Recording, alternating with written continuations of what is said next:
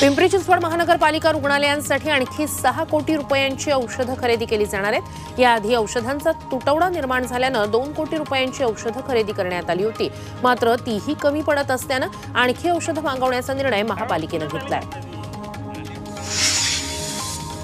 म्हाडाच्या तीन हजार आठशे वीस घरांसाठी एप्रिल अखेर जाहिरात निघणार. आहे या घरांमध्ये सर्व उत्पन्न गटांचा समावेश आहे. अत्यल्प गटासाठी सर्वाधिक दोन हजार सहाशे बारा घरं असणार आहेत तर फक्त पंच्याऐंशी घरं मध्यम गटासाठी आहेत. आणि या घरांची किंमत बत्तीस लाखांपासून आहे. एप्रिल अखेरीस किंवा मे महिन्याच्या पहिल्या आठवड्यात जाहिरात प्रसिद्ध होणार आहे.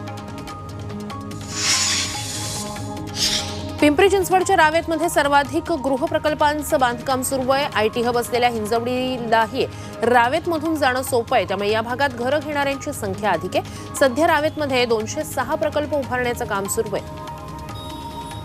अमृत नोनी गॅस्ट्रिन अपचन ऍसिडिटी गॅस्ट्रबल ह्यापैकी तुम्हाला कुठलाही गॅस्ट्रिक प्रॉब्लेम झाला उपाय एकच. अमृत नोनी गॅस्ट्रिन. मुंबईला पाणी पुरवठा करणाऱ्या अप्पर वैतरणा मोडकसागर तानसा मध्य वैतरणा भातसा विहार तुळशी या सात तलाव आणि धरणांमध्ये केवळ बत्तीस टक्केच पाणी साठा शिल्लक राहिलाय. आधीच मुंबईत पाणी पुरवठा करणाऱ्या जलबोगद्याच्या दुरुस्तीमुळे मुंबईत पंधरा टक्के पाणी कपात सुरू आहे. अनेक भागात एक ते दोन दिवसांआड पाणी पुरवठा सुरू आहे.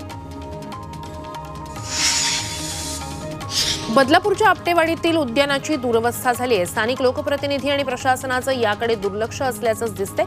उद्यानातील खेळणी झोका आणि ओपन जिमचं साहित्य तुटलेल्या अवस्थेत आहे. त्यामुळे परिसरातील चिमुकल्यांचा हिरमोड होतोय. तर पालिकेनं नव्यानं हे साहित्य बसवावं अशी मागणी नागरिकांकडून केली जाते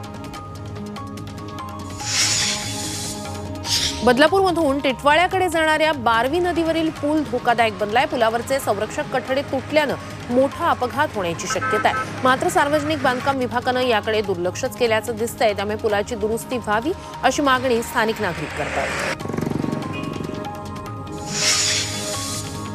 पुणे सातारा महामार्गावरील कापूरहोळ गावातील अतिक्रमण अखेर हटवलंय. महामार्गाला जोडणाऱ्या सर्व्हिस रोडवर वाढतं अतिक्रमण वाहतुकीसाठी अडथळा निर्माण करत होतं.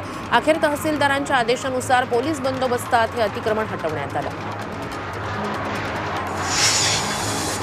पिंपरी चिंचवड महानगरपालिकेची क्रीडांगणं हाऊसफुल झाली आहेत. सध्या उन्हाळा आणि सुट्ट्यांच्या पार्श्वभूमीवर विविध स्पर्धांचं आयोजन करण्यात आलंय. त्यामुळे बहुतांश क्रीडांगणं हाऊसफुल झाल्याचं पाहायला मिळतंय.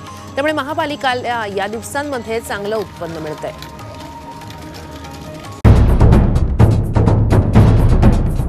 सह्याद्रीची उंची म्हणजे